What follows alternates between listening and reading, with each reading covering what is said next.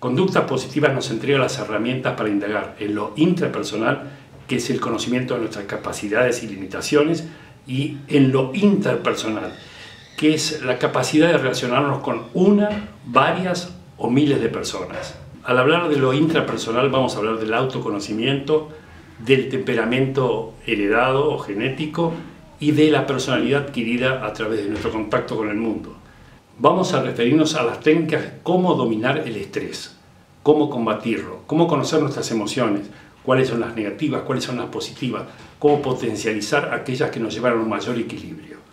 En lo interpersonal, Conductas Positivas nos entrega las herramientas para tener una segura comunicación con las demás personas.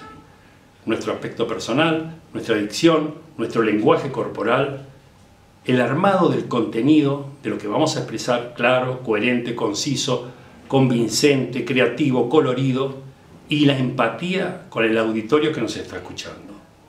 Una, varias o miles de personas.